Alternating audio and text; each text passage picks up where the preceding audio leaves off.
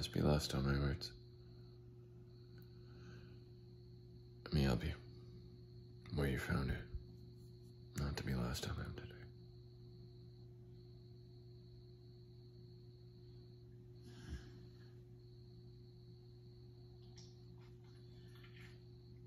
Did I do a good job?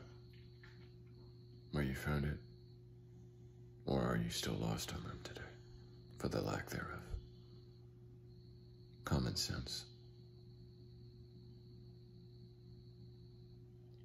What do you feel? Is that what you know? And is what you know what you're feeling right now? Could you describe it perfectly? Was all feeling the same, or did you need a few ways to describe it before you could tell me about that? See, when you take my words away from me, it's clear to me that you weren't aiming to keep them. You only so sought to destroy what I said and what I'm saying still. So the next time you take my words from me, know this. It's not allowed. I've already gotten them back. That's where this conversation started. I told you I would. Even though I didn't have it when I started this video. There it is again. My words from mine. Is that okay? It should be. I fought for that. If you don't like it, go to war. Don't come back. Until you figure it out. That's why these words are mine. I've been in war for a long time. It doesn't stop. Once you're at war, it remains. That's the truth. You only learn to be with it as such. So it is in our youth that we learn also the same. Pain becomes normalized.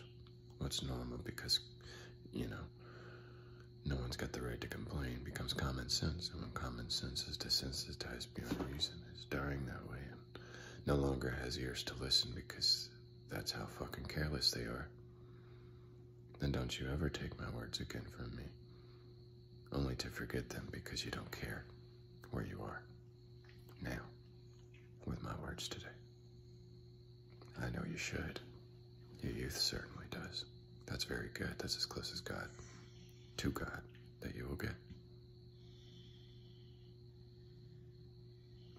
And I'm as close as it gets also, in a way, very, very same way.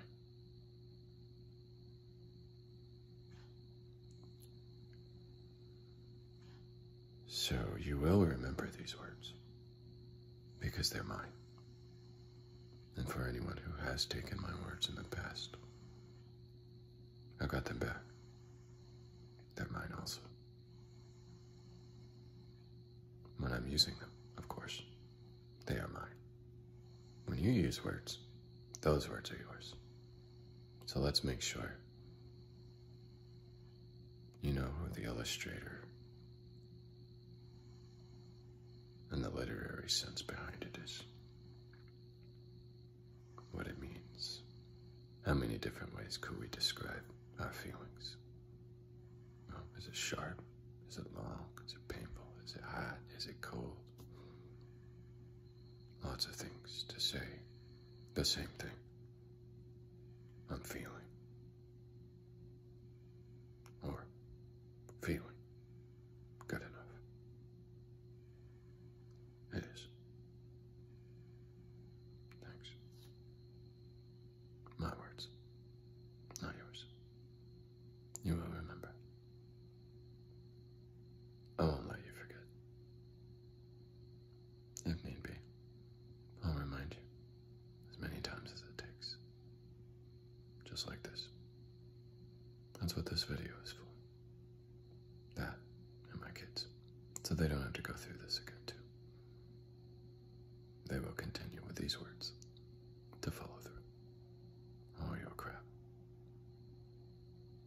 That's for you, not for them. Because I have kids too. I'll take your crap. redirect it, recalibrate, was supposed to be. Might even give you a rose. It'll take some time, but you know that's how shit works with roses, too. So. Mind my thorns. It's not a horn, but seems I've definitely crossed my T's and dotted the I. Have a good day. Amen.